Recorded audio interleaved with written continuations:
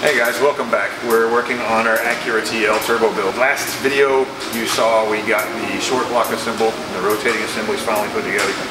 We set the heads on to kind of get them off the floor, keep them out of harm's way. We use the old head bolts just to hold them in place so nobody can knock them off when they walk by or something like that. I wanted to take a second and kind of go over the head bolts with you guys. Pretty much all of your manufacturers anymore use what's called a torque to yield head bolt. They're good for one use and one use only. Um, anytime you look at a torque spec and it gives you a foot-pound or newton meter reading and then a degree reading afterward, that is a torque to yield bolt. When you take it out, the best place to put it when you're done with it is in the trash can. Nine times out of ten, if you try to reuse them, they will break and that will make for a very bad day on you. So we're going to go ahead and discard the ones that we have and start all over with the fresh head bolts that need to go in.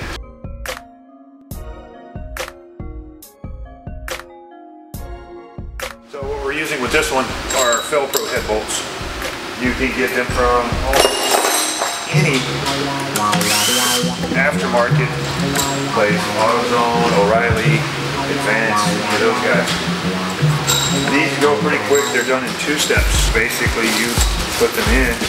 What I normally do when I install them with the torque to yield bolts, traditionally when it's just a bolt that you just torque down, you lubricate the threads. On your torque to yield bolts, you do not lubricate the threads. Um, a lot of times on your torque to yield stuff, the threads actually go into the cooling passages down in the block. This particular engine they do not, but when you're doing a torque to yield, you still want to install them dry. If they go into a water port of any kind, they will come pre, they'll have a sealant on them already when you take them out of the box that seals the threads from the cooling passage. The way I normally do these, this particular engine, um, when you're tightening these down. It calls for 22 foot-pounds first.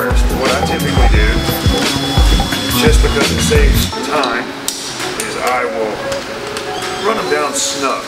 You'll notice and listen to the gun, you don't hear it rattle like it's impacting the bolt. You just hear it come to a stop. There's also a specific pattern for these that I'll get to here in just one second.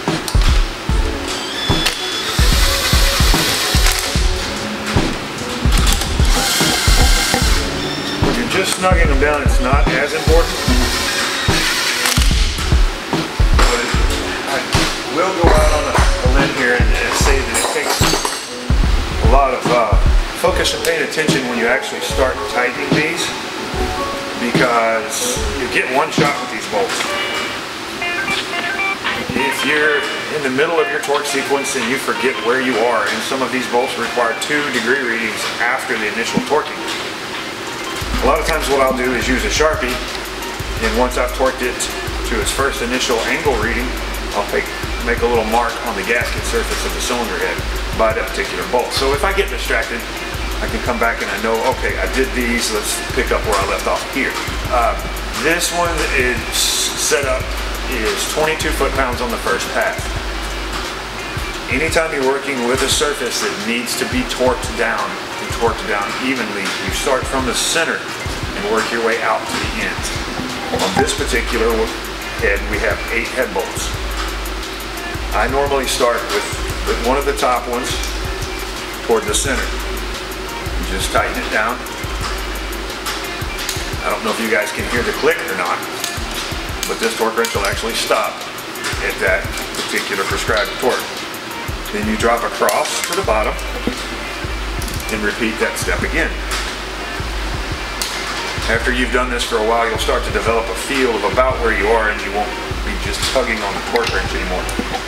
Now we've done the top one here and the bottom one here, so we're going to move to the bottom one here.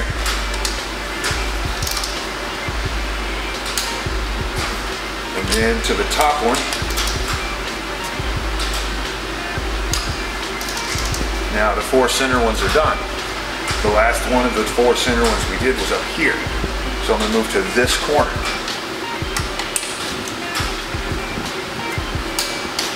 And then to the top front corner. And then we'll catch the bottom front corner. And the top rear. Now that has the initial torque done. Always go back and repeat that pattern. Because you'll notice they'll tighten just a little more. And that flattens everything back out when you go back over everything. Once you get out towards the ones that were just done, you'll notice they don't tighten down quite that much. The way I typically do this, if I'm doing both sides, I like to get everything set up before I start actually doing the, the torque angle part of it. That way I can just start with one and continue on until they're all done. So bear with me while I take these out.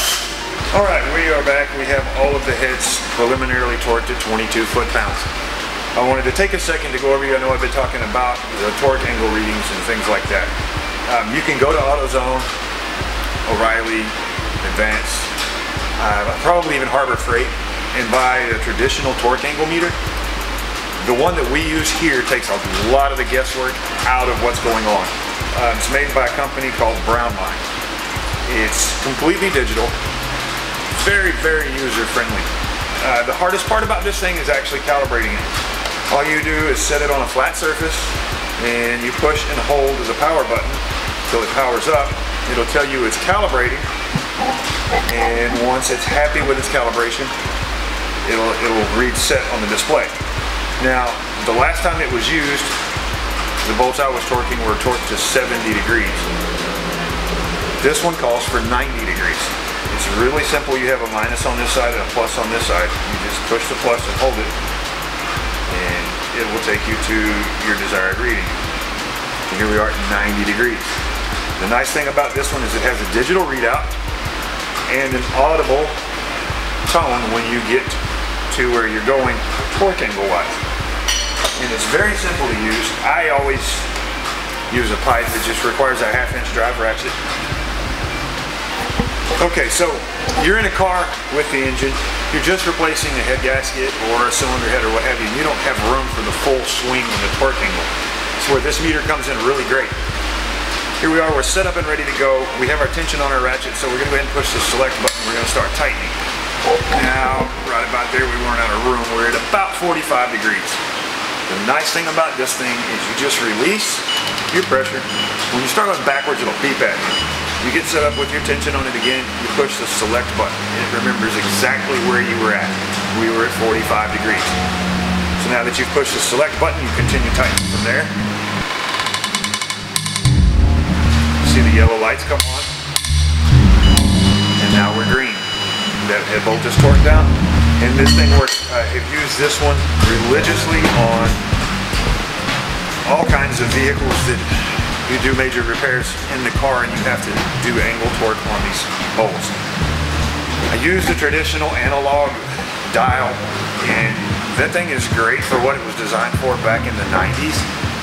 But this thing, for the money, you might spend 20 or 30 bucks on the cheap dial and needle kind. This one's about 80 or 90 depending on where you get it. I'm sure by now there are several different versions of it. It's well worth the money even if you're only going to use it one time the aggravation that it will save you is priceless. So now we have three of our of our eight bolts torqued for this head. So we're going to continue on in our pattern. Now always put just a little bit of tension on it before you push your button. Then you just give it a little swing. In an area like this, you can get it all done at one time. It makes it really nice. Working on these things in a car, sometimes in a confined space, is aggravating to say the least sometimes.